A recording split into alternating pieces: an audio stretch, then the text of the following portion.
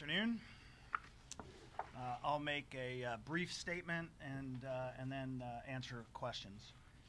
Uh, after a series of recent issues and a team culture that had deteriorated, we determined that it's time to make a change uh, to return to a club focus to the team. And as a result, we dismissed Alan Koch as head coach of FC Cincinnati and have appointed Yoann Damet uh, to be the interim coach while we begin a worldwide search uh, for the next uh, head coach for FC Cincinnati. Uh, this decision is not driven by recent game results themselves, but rather the underpinnings that have led to those results. We have not come close to maximizing the talent that we have in the dressing room this year, uh, nor have we seen a foundation being built that will set us up for success this year uh, and into next year. Our whole locker room is committed to our club goal of earning an MLS postseason bid, and we need them to put it. We need to put them in the best position to do so. I am confident that Yoann will immediately infuse the locker room and soccer staff with a positive energy and team approach.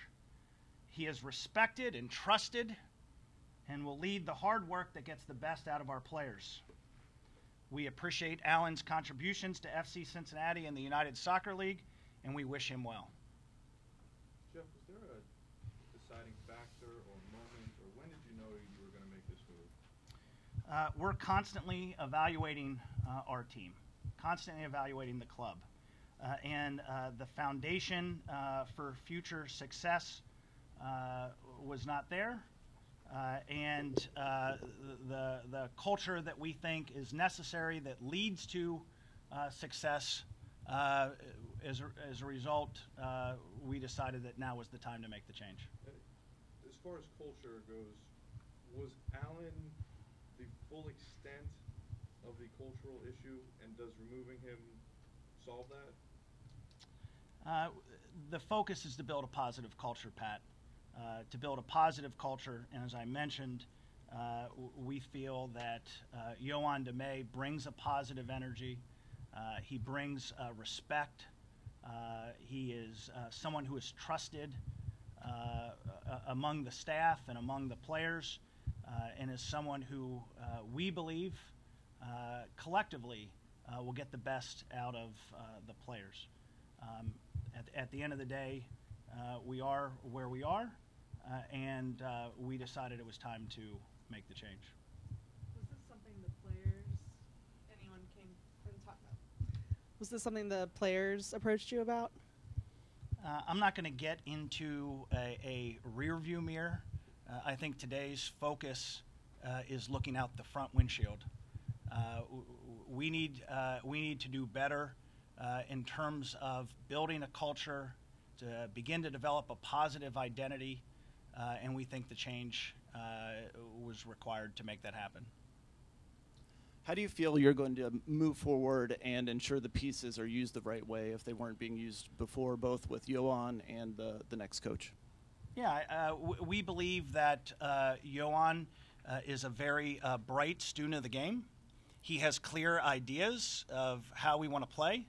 Uh, he has a clear understanding of the talents uh, that our players uh, bring to the squad.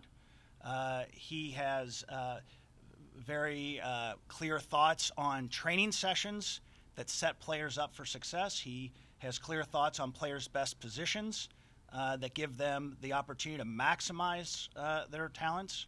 And everyone is very anxious to get out on the field and, and, and begin the work for this weekend. Do you think there's still time this season to bring everything together? It almost seems like you might be starting from scratch with trying to get everyone on the same page and build the relationship. No, I think it's still early enough in the year. Look, uh, again, w- we believe in this group of, of players. Uh, we have a strong mentality in the locker room.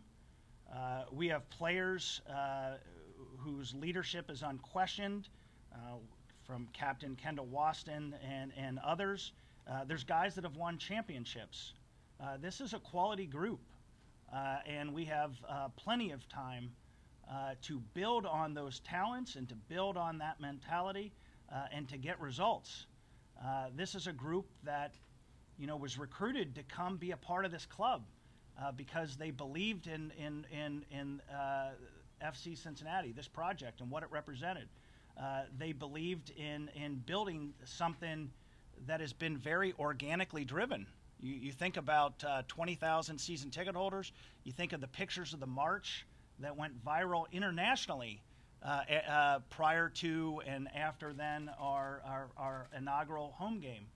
Um, these players are fighting for our city, uh, but we have to set them up for success.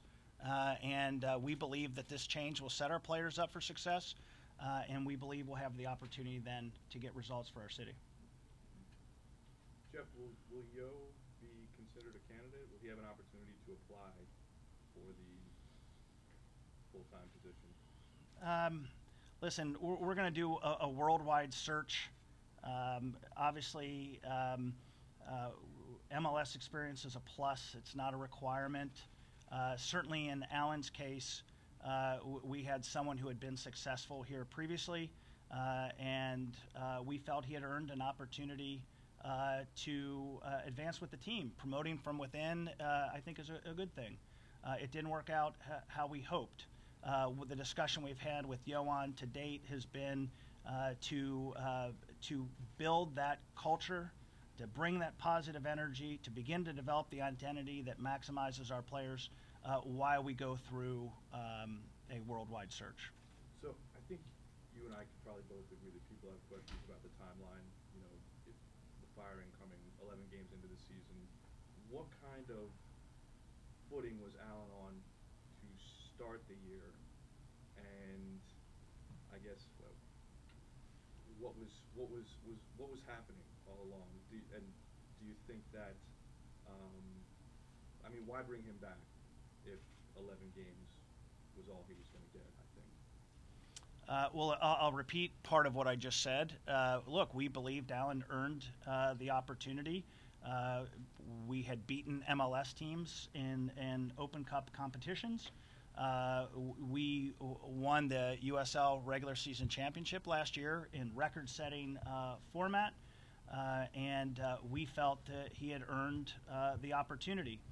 Uh, and we worked closely together over the course of the last year um, to develop the roster in advance of this year. I had every expectation he was going to be successful. This was never anything that was in my mind. Uh, it, to your point, w- when you asked about when starting the season, uh, th- this was never anything that was contemplated. Uh, and uh, I, I was very confident that we would be uh, successful. And I want to stress, I didn't define success by results. I talked about success in terms of culture. I talked about success in terms of building a foundation, to be, develop an identity. I think when you have those things, success comes. It may not come immediately, but it is the result when you have a strong foundation and a strong culture. Uh, and it just didn't turn out how we hoped. How long would you say is an appropriate time to expect a coach to be able to build that culture? Um, well, I, I- guess I would offer this. Uh, we certainly think that there uh, was enough time here. And um, all I can offer is, as I noted, we're constantly evaluating uh, the foundation of the club, the culture in the club. Um, uh, we're in a, in a situation where we were troubled. We felt that the situa- situation had deteriorated. We, uh, we were confident it was not going to change, and therefore uh, there was a result for there to be a change. Who is going to be conducting the coaching ser- search, and can you give us a little bit more on, on what specifically you're going to be looking for? Uh, sure. Uh, our team, our, our group here internally, uh, will lead the search. Ultimately, that'll be uh, as, as president. Uh, uh, that ultimately will fall to me. Uh, but we have a great ownership group led by Carl Lindner and uh, others. Um, but uh, I will lead it. But I have a lot of people uh, that uh, that are a part of that effort. And just thoughts on the current roster. Is it is it good enough right now, and, and what are your feelings on that? Yeah, no, um, w- we do believe uh, in the roster. Um, look, w- we developed the, uh, the roster here uh, through a, a process where uh, we developed KPIs, uh, key performance indicators, uh, based on how um, um, our head coach wanted to play and what we thought, what he believed were the key uh, requirements for players to be successful in, in each position. Luke Sassano and our scouting staff then went through a process of sourcing players, uh, of, of, of doing an analytics study of the players and how it fit with our key performance indicators. Uh, obviously, there's financial considerations that go into that process. There's character uh, with interviews and background intelligence, uh, and and obviously uh, the head coach uh, has to want the players. I, I, think in almost every soccer team in the world, the head coach decides who takes the field, and so it doesn't make any sense to sign players that the head coach doesn't feel will help him get results. and at the end of the process uh, when I, or in some cases, um, uh, w- you know, uh, with Carl, when we sign off on players, they become FC Cincinnati players. Uh, they're not Luke Sassano players or scout players or the head coach's players. They're FC Cincinnati players. It'll always be that way, okay? Uh, but we believe in the quality of this group. Uh, we don't think that the, that the culture has been has been the best. Uh, we don't think the foundation has been there. We've not set them up for success. We've not maximized their ability, uh, but we believe we can get those things right and we can get back to getting good results uh, for this club and our city. You speak about the importance of the culture. How do you reinforce or further instill a positive, cohesive team culture at this point? Uh, you know, I think uh, anyone in the workplace, whether it's here in the front office or you in your newsrooms uh, or players in a locker room. There's certain criteria that uh, that we that we look for, right? I mean, you, you want a level of honesty, you want a level of trust, you you you want a mutual respect. Uh, you, you want uh, hard work to be rewarded. You want uh, there to be accountability uh, for hard work. Those are just uh, basic things. You, you, need a positive energy. You need a positive energy. And um, th- those are things that we feel confident that Yoann Damet, with the full support of the staff and the support of our players, is going to get back to. You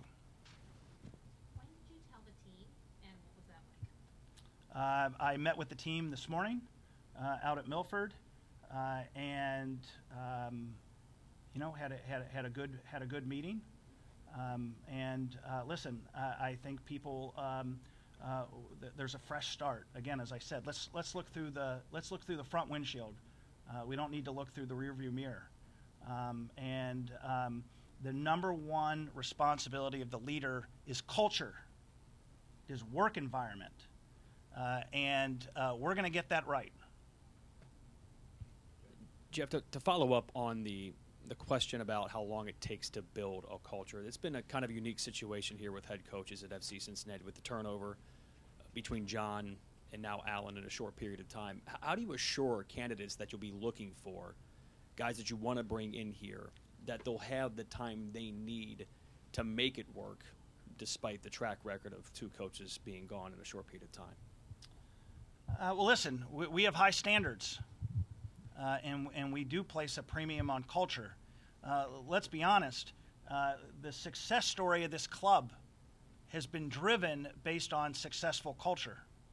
Um, when, when you have uh, this organic movement, uh, 20,000 uh, season ticket holders, brilliant business partners, the training facility, the Mercy Health training facility that we're building, that'll be second to none in the league um, an unbelievable new stadium that's starting to come out of the ground uh, in the West End 26,000 uh, seats. Uh, that only can happen through having a strong culture. Um, and uh, that has uh, been uh, the case certainly in the front office. It's been the case with our supporter culture. Um, unfortunately, at times it hasn't been the case on the soccer side um, we, we are going to take our time here uh, to get the search right. Uh, we're going to make sure that we, uh, we have a head coach coming in who uh, is a, a big time, proven leader, uh, not only with results, uh, but also with culture. Jeff, you, you said that the new head coach will have to get the culture right. So uh, I know you say you want to look forward, but backtracking, where where did Alan, I guess, in these first 11 games get the culture wrong? Because it seemed like building off USL success, obviously that's a different league, um, being coach of the year, you know, really dream start to this season, and then in the past eight nine games, the the culture change? Where did where did that go go wrong?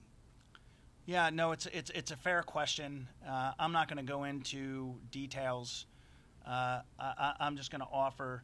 Um, you, when you're in a work environment and, and the culture's great, you know it. Uh, and when you're in a work environment uh, that's not, you, you know that too. And we are, we, we are constantly evaluating.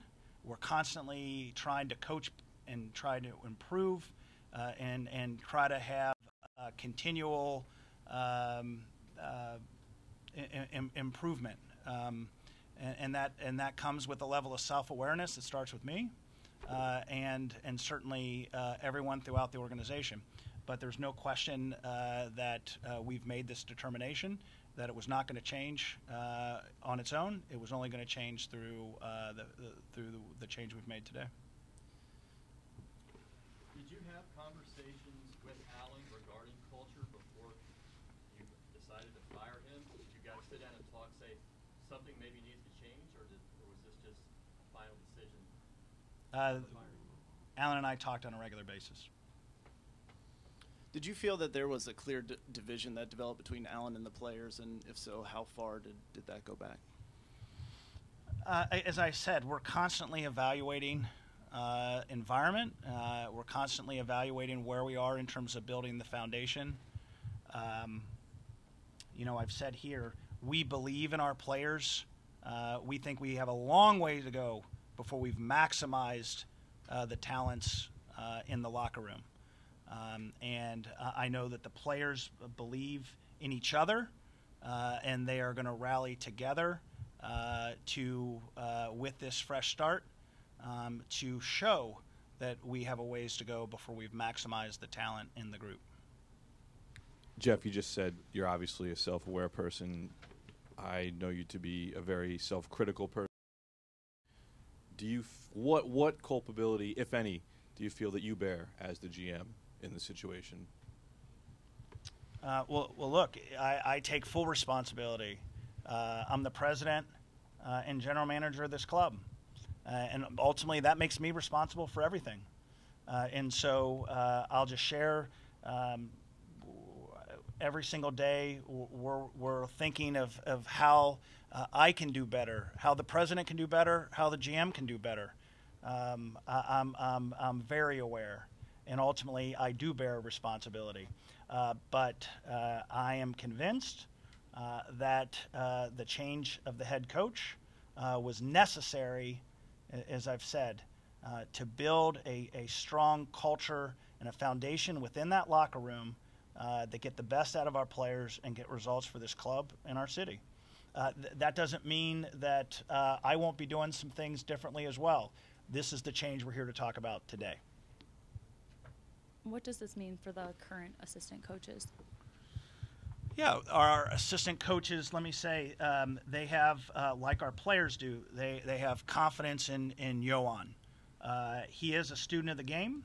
Uh, he's very uh, well respected in his character, he, in terms of just he's honest, he's open, he has a clear uh, uh tactical philosophy on how he wants to play. Uh, he has a clear plan for training sessions uh, that will maximize our, our player development.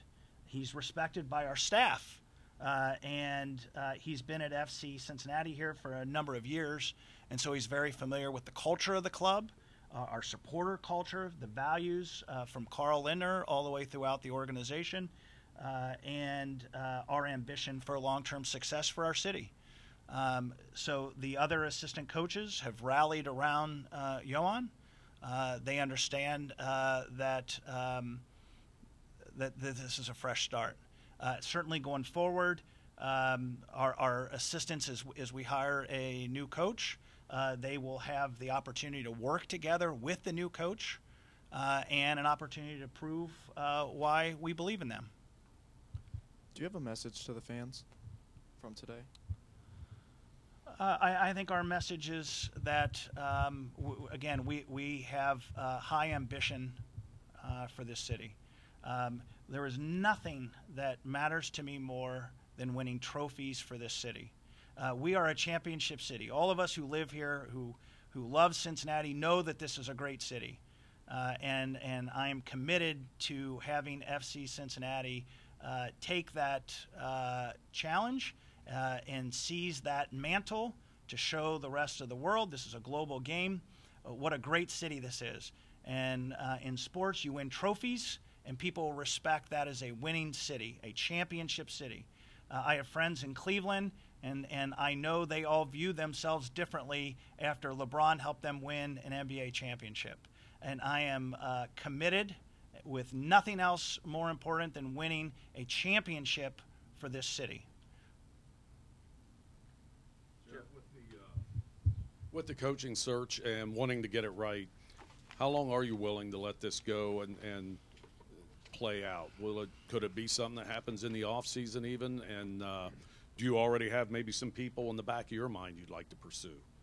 Uh, thank you, George. Uh, we, I want to be clear, we don't have a list. Uh, we did not anticipate uh, today, uh, and so uh, we're starting from, from scratch there. As I said, we're, we're going to get it right. Um, and um, th- that, by far, is the most important piece here, much more so than timing. I, I mentioned we believe in Yoann, so we think that the team is in good hands uh, right now, and we're going to go out and find someone who can take this club uh, to the next level. Jeff, do you have any leads on uh, on the personnel side with the transfer window closing tomorrow? Uh, as I said uh, earlier, we believe in this group of players. Uh, we do not believe that they have been maximized. Um, certainly, I think every player, they're, they're pros. They understand that we always want to get better. Uh, and, and they accept, you know, uh, as, as, as I've said before, uh, for, for players, the challenge is not to be the best player out there. The challenge is to be better today than you were yesterday. And if you buy into that philosophy as, as a group, we will have a successful team. Uh, so I, I say that. Um, of course, we're always evaluating opportunities. Uh, people present opportunities to us. Uh, we obviously will have a Gold Cup window uh, coming up where we might lose uh, several players. Uh, we're certainly uh, mindful of, of that, so, some of our very good players. Um, and so uh, we certainly take that into a, account. But we have nothing, um, if you will, sort of on the precipice in terms of adding players today. Jeff, how would you characterize your conversation with Alan and his reaction? Um, it was a short conversation, and uh, you know, never easy. Um, but this is a part of the business. Any last questions? How much did you know losing your best offensive player, Adi, for the most of the s- start of the season uh, affect how the team was able to perform? Um, well, it didn't. It didn't help. Um, to be fair, uh, but I, I want to stress um, today's uh, announcement is not about results uh, on the field. Thanks, everyone. Thank you.